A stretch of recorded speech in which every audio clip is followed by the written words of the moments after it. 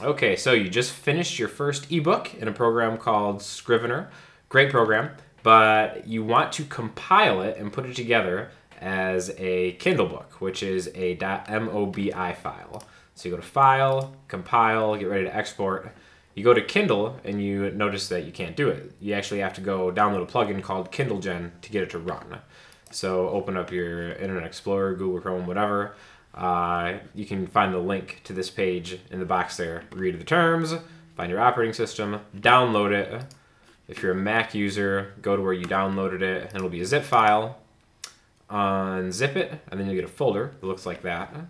Go back to Scrivener, the same page that's up here, and now just choose where you found it. So just click the folder. You don't have to do anything else. Click open.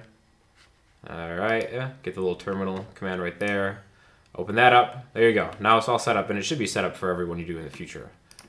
Compile, specify where you want to do it. Mm, you know, put it in your documents or whatever. Export. Mm. It'll take a couple minutes, and it is there, ready to put on the Kindle store.